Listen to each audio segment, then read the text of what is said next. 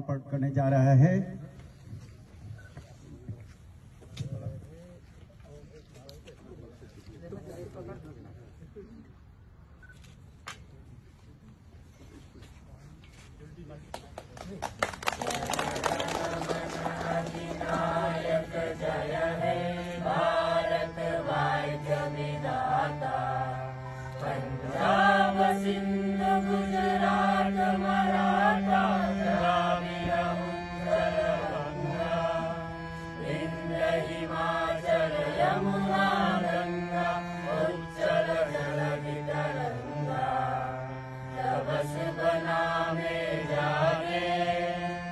Basuma.